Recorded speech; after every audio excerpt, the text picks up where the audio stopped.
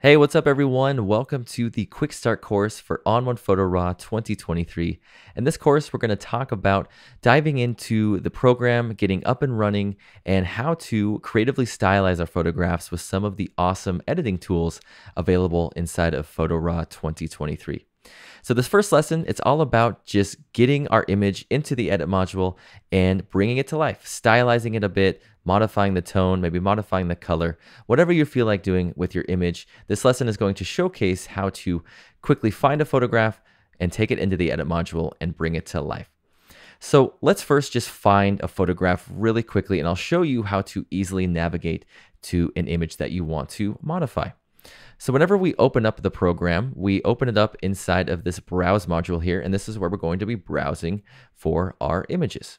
So what I typically do is I'll head over here to my local drive section. This is going to house any drives that are mounted or that you have inserted into your computer, such as an SD card or an external hard drive, things like that. So I'm right now just selected on this Mac OS. This is just my computer's hard drive, but I'm just going to select this external hard drive, this LaCie external hard drive that I have plugged into my computer. And once I select that, you can see that I have these different folders that are available inside of that hard drive and I can click on them and I can navigate into them. I can also do the same thing. So if I were to go back to that Mac OS, I can also do the same thing by just rolling them open. So I can roll open that hard drive. And if I had different folders within these, I could roll that open and see those as well. But we'll just select that quick start course there because we're going to be modifying these images within the course. So we've navigated to the group of photographs that we want to modify. Let's just select one. Let's start with this wildlife photograph. And to edit it, let's head over to the edit module and I'll just select that button there. so now that we're inside of the edit module, let's talk just a bit about the UI and how we can quickly navigate to some of the tools that we'll be commonly using on our photography. So with this image, I think it would be great just to crop it real quick before we start modifying the actual look of it. So let's head over here to the left side of our screen, and this is going to house all of the different tools. This is our tool well section of Photo Raw. And if you hover over a specific tool, it will give you a little video with that tool in action, a little description, and it will also give you a keyboard shortcut that you can use to quickly select that tool. So I want the crop tool right now. So you can see that the crop tool can be grabbed with just C on my keyboard. So I'm just gonna hit C on the keyboard there. And now I have my crop tool on the image.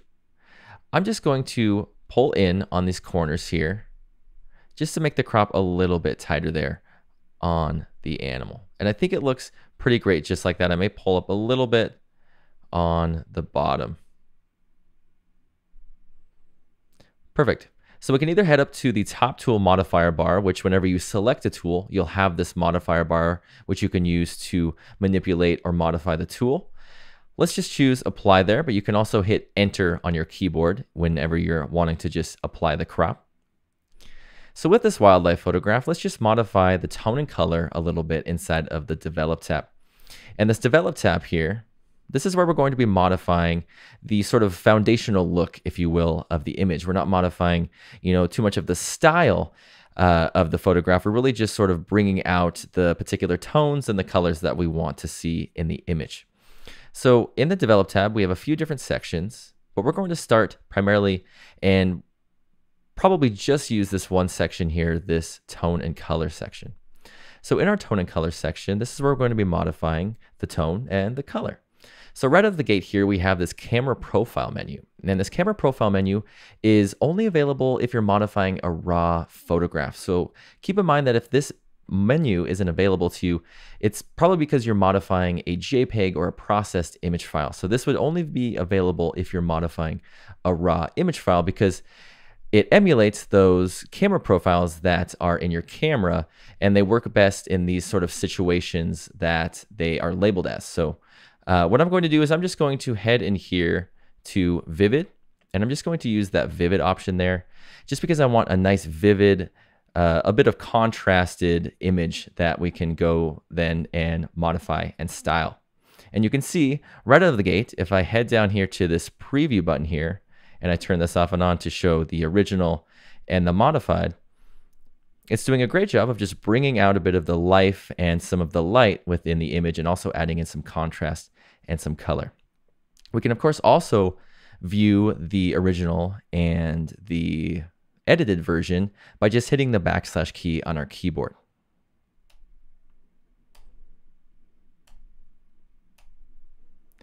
So with this wildlife photograph, I'm probably not going to modify too many of these tone sliders here. Um, obviously, it depends on whatever image you're modifying, and I don't think this image needs really too much. I'm just going to add in maybe a little bit of contrast there. And I might just pull up on the midtones just a little bit so that we can see some of those different details and textures within the photograph. And I think it looks fine. If we hit the backslash key on our keyboard, it's looking great. I don't think we need to modify too much before we style it. So now what we're going to do, let's just head in the effects tab. So we've brought out sort of the life of the image. Now let's, you know, style it a bit. Let's add on sort of our own unique personal stamp onto the image. And what I'm going to do is I'm going to add a filter. And inside of PhotoRaw 2023 now, inside of this filters menu, we now have the option to choose which object or environment or space in that photograph that we want to apply this adjustment or filter to. So let's just modify the animal. And you can see as I hover over this animal option, it will highlight the animal there. And if I select it, it will turn it blue, meaning I've chosen to apply this particular filter to that particular subject. And we can, of course, choose multiple, we can choose none, we can choose all, but I'm just going to choose this animal there. And so what I want to modify on the animal is the texture. I think adding in a bit of detail and some texture into the fur of the animal will really make it pop out from the background. So let's just choose dynamic contrast. And when I choose that dynamic contrast filter, you can see in here, it's added that dynamic contrast filter, which is a great filter for modifying the detail within our scene. But in the filter itself, I can select this option, which will show me the mask of that particular filter. And if I view this, it's targeting that particular subject within the scene. If we are referring to masking, we usually refer to it as white reveals and black conceals, meaning if we have white on our mask, it's revealing that filter or adjustment onto that particular area. And then if we have black, it's concealing it from that particular area. So let's just close that up here and we'll view the photograph. And within any of these different filters that you apply, you can modify them by going in and modifying the particular sliders within them. So in dynamic contrast, we have the different sizes of texture and detail. I can add in some, some small texture and you can see it modifies those really small micro details within the scene. So I can modify these different sliders within the filter or I can use different presets that are at the top and in this more menu of each filter. Let's just choose surreal Surreal is a bit intense, but I do want you guys to be able to see sort of the difference between the before and the after. So if we turn this off and on,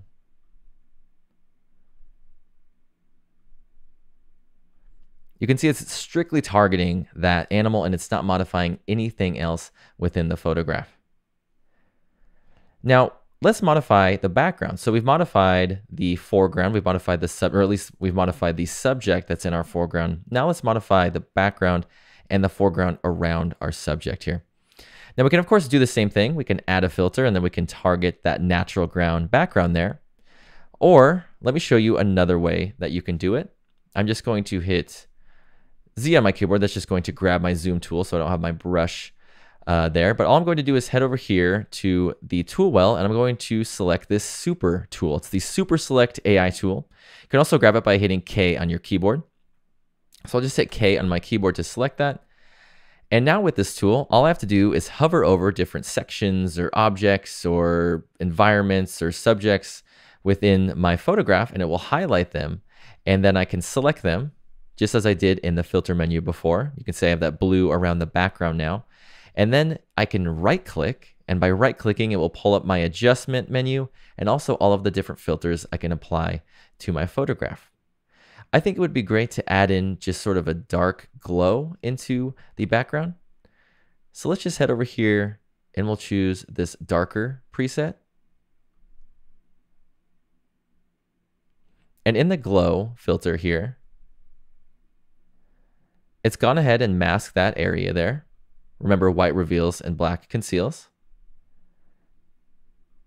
And it's added on that darker preset within that glow filter, which the glow filter adds on sort of a blurry glow into the background. And it's it's nice for these particular images where you already have a bit of blurriness to them. So if I turn this off and on here, it's really doing a nice job of just modifying that background slightly and making this animal really pop out of the scene there. So let's again just hit the backslash key on our keyboard to view the original. So this is the original. And this is after with just a few modifications here. Let's just add one last modification. And I'm actually going to apply this modification to the entirety of the image. And I'm just going to add a nice vignette so that we can sort of dim down the area around our animal and we can make a nice uh, sort of portrait out of our wildlife photo. So in the vignette filter, like I was saying earlier, you can choose any of these different presets or you can modify the sliders. I'm going to choose this big softy preset. It's a really popular one within the vignette filter and it works really well to sort of dim down those corners and really make that center pop. Let's just turn this off and on. And it's looking great. Let's just use this positioning option there. I can select that right there. And then I can drag the vignette around to ensure that it's sort of spotlighting the area that I want it to. So now that we've modified the image, let's just export it. You know, we've created this awesome piece of art. Why not go and export it and share it to our friends and family or to social media or whatever it may be. The easiest way to export is just to head down to this export option here. You can select export. This will pull up your export drawer. And inside of the export drawer here, let's just focus on this export options section. And in the export options, we have our naming, which we can use to modify the name of our export. I'm just going to rename this one wildlife after. And below that, we can modify the sort of numerical end of the name, if you will. So if you're modifying groups of photographs or more than one, you can add a token and you can add a sequence number. And this will help to create a sequence so that you have you can have multiple different images with the same name. So then we have destination here. I typically use ask when exporting. So I'll use this folder option to choose ask when exporting and that will pull up my computer's finder and I can choose wherever I want that photo to go into.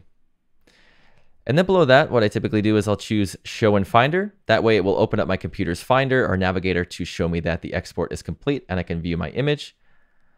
Below that, we have file type, and I'm just going to modify the file type into a JPEG because I'm going from a raw image. I want to then process that into a JPEG that I can easily share. So then below that, we have resize. And what I can do here is I can resize to a specific dimension or I can resize a specific edge. And I can also modify the width, height, megapixels, or I can modify just the percentage here. So what I'm going to do is just modify the percentage there. And I think maybe just 75% of the original value is going to be fine there. And I'm just going to use a resolution of 96, which works really well for web stuff. Let's just use actually 50% there. Get a nice lower estimated file size. So I think everything looks good. If you're looking to add on other things such as sharpening, adding on metadata, or you want to add on a watermark, those can be accessed down here at the bottom. And you can just select show, and you can enable them and then you can modify from there. So I'm just going to turn that off. Everything looks good up here. Let's just choose export. Now it's asking me where I want to export this into. So I'll just export that into that folder we were looking at earlier. And now inside of the browse module again, you can see I have two of those same images. One is the raw file, and then the other is this after image that we just modified.